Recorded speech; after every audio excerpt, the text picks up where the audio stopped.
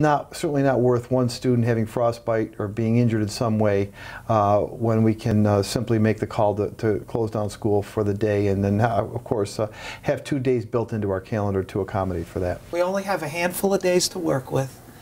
Um, safety is always going to be the paramount issue, but we still have an eye, we still have an eye on those days, uh, which then eat into other calendar events later in the year, which cause uh, further um, confusion for folks.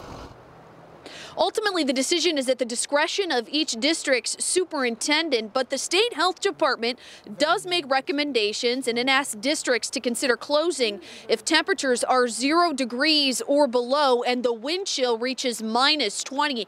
If your school district does remain open tomorrow, health officials say you do have the right to keep your child home if you believe it'll be unsafe. Ashley? Okay, Allie, question for you though. It is not uncommon to cancel on account of the cold. So do you actually know when the last time that happened? Well, in the case of Lockport, the superintendent there tells me that the last time they had to close just because of frigid temperatures alone was back in February of 2015. So while it is rare, it does happen. We're live in Buffalo this evening. Allie Tui, 7 Eyewitness News. All right, thank you very